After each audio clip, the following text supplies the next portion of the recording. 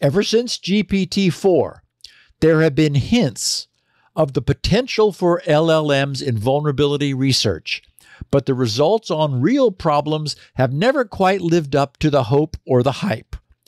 That has changed with O3, and we have a model that can do well enough at code reasoning, Q&A, programming and problem solving that it can genuinely enhance human performance at, vulner- at vulnerability research.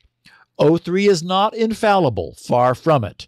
There's still a substantial chance it will generate nonsensical results and frustrate you.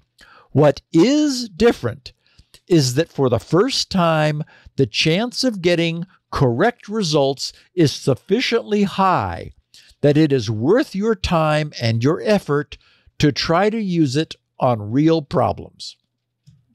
So I have a link at the end of the show notes for anyone who wishes to see all of Sean's posting and even to replicate and duplicate his work. He's provided everything required to do that.